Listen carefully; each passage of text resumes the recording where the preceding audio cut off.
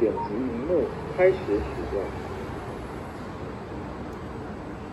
画面をタッチしてください。片道運賃とご利用枚数をお選びください。運賃とご利用枚数をお選びいただくか、お金を投入してください。運賃とご利用枚数をしばらくお待ちください。乗車券、トークンとお釣りをお取りください。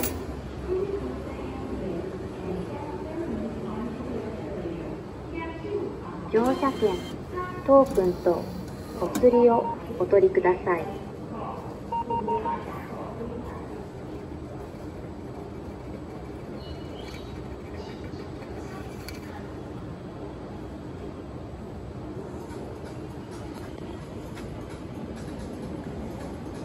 点击荧幕开始。